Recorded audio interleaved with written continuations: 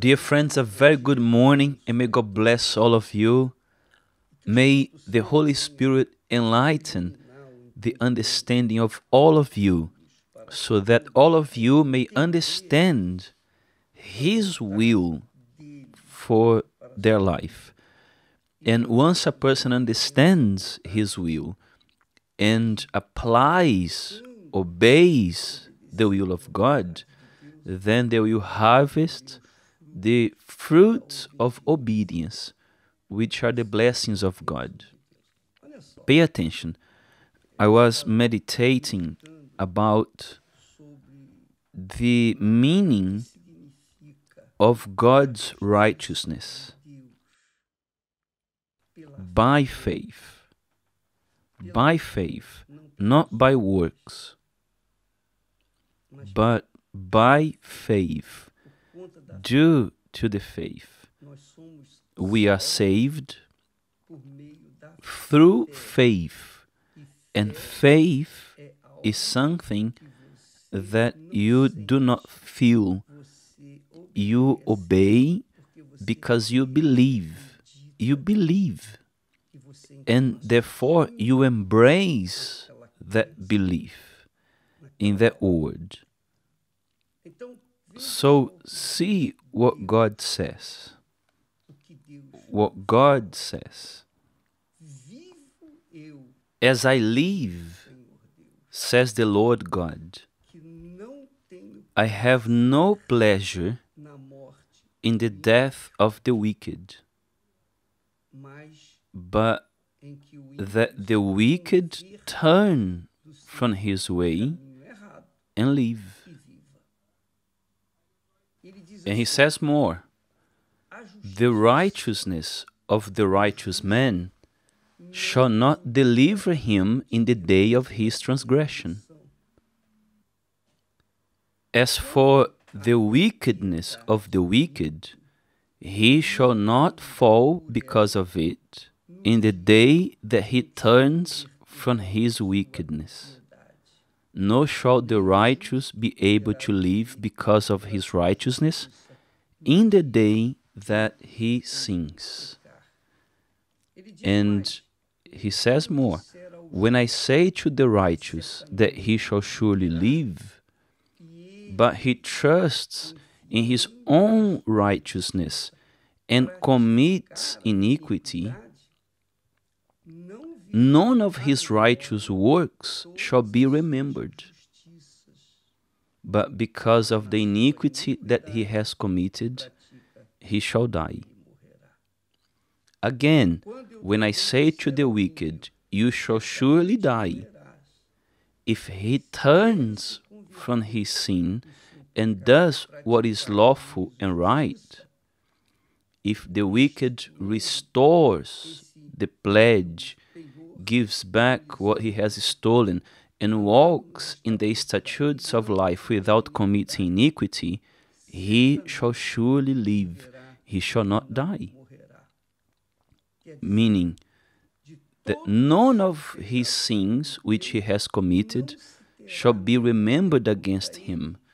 He has done what is lawful and right. He shall surely live. So, this here, dear friends, if you read with care and attention, meditating on it, this text is very glorious, it's magnificent, because what the Lord says here is exactly that. It's pointless to do a lot of work, you know, good works of charity, being merciful, you know, that I myself can do, preaching the gospel, dedicating my entire life to try and save others and pass on to others what God has given me. If in the last moment of my life I think that I have the right of salvation because I've done the work of God, then I already be sinning. And I'll be I will be punished with eternal death. This means that I have to keep my faith every single day, depending exclusively on the compassion of my Lord Jesus, who died for me, who paid the price for my salvation.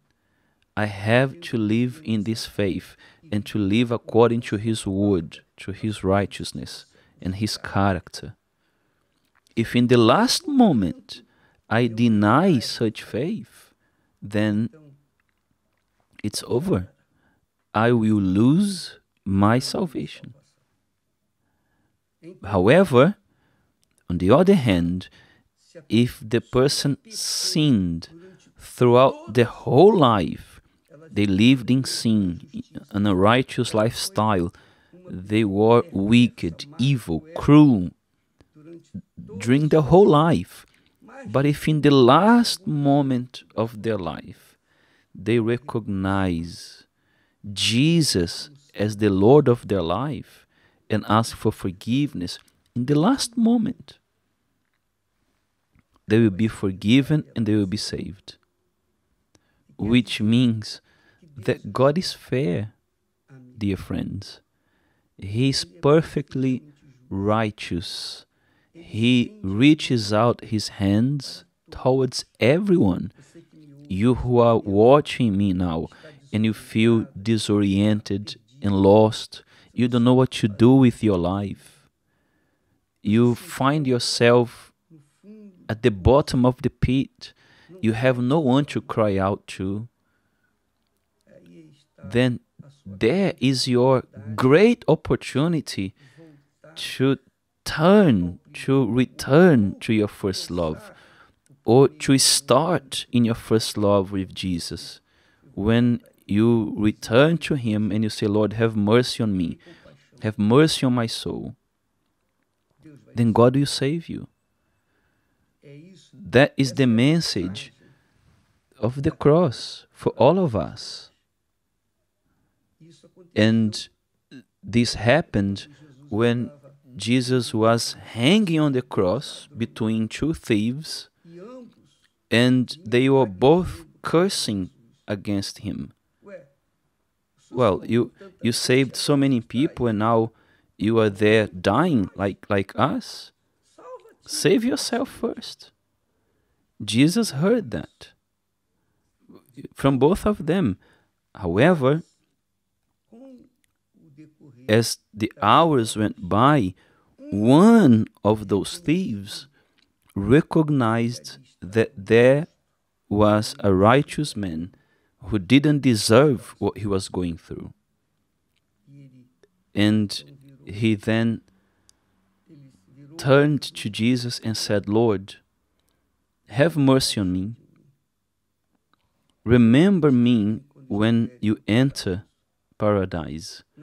And in that moment, Jesus answered straight away, Today you are going to be with me in paradise. And he was a thief, he was a criminal as much as the other one. However, he was saved at the last moment. Actually, I want to leave a special message here to everyone, those who want salvation, of course. In the last moment of your life, when you reach the last moment, because one day we will reach the last moment of our lives, isn't it? The last moment will come for all of us. Except if Jesus comes back sooner, then he will take us. But if it doesn't happen, and in the moment that you are, you know, you're about to go, you're about to die, in that moment, and you remember Jesus, you remember, like the thief on the cross did, who cried out to Jesus in his last moment and he was saved, you can do that as well. And the Lord has been giving an opportunity to many people. As I mentioned here before, some time ago, there was a lady who came to church two or three times and her problem was not resolved. So she jumped off the fifth floor from the apartment she lived.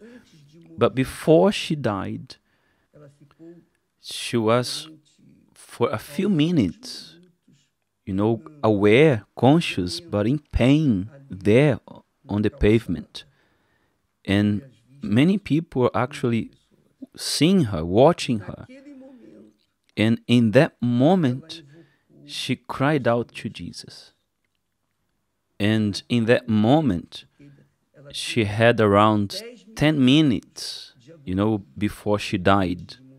And in those 10 minutes of agony and pain, she cried out to Jesus because she knew that whoever cried upon the name of Jesus would be saved. So she cried upon his name. She died, but her countenance was calm, was peaceful.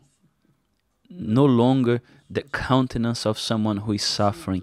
The countenance she had in the moment she died was the kind of countenance she wished to have when she was still alive.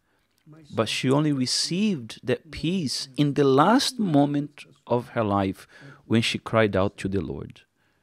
So it's good for you to know these because, for example, I had a brother who was in coma for many months due to a certain infirmity.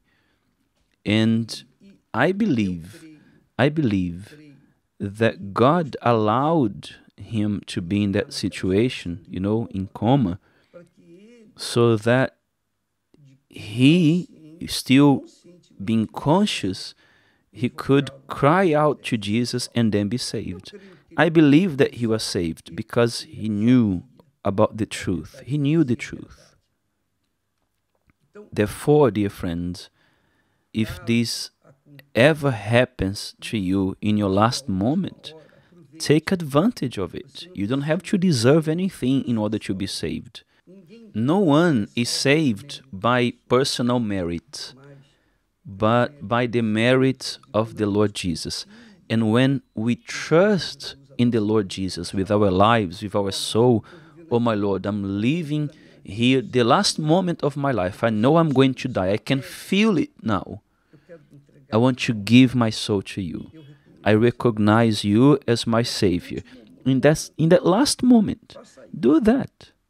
And in that moment, you shall be saved you lived your whole life in sin, but if in the last moment you cry out to the Lord Jesus, you shall be saved. Whereas a person can live their whole life in church, in faith, and doing charity, good works, but if in the last moment of their life they deny the Lord Jesus, they will also lose their soul. And their soul will be condemned for all eternity. So I'd like all of you to have this understanding that no one will forget this because one day, sooner or later, we are all going to die. We are all going to go to eternity. But before we do so, before we enter eternity, let us trust our soul to our Lord and Savior Jesus Christ because he gave his soul to rescue ours. And when we express faith in him, in what he's done on the cross, then we are saved. Okay? May God bless all of you.